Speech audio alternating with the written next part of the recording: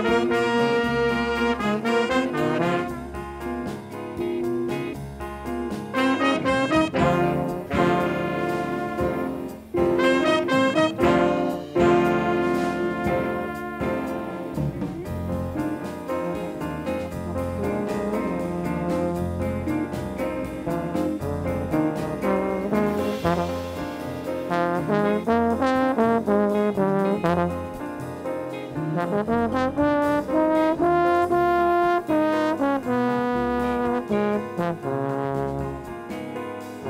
you.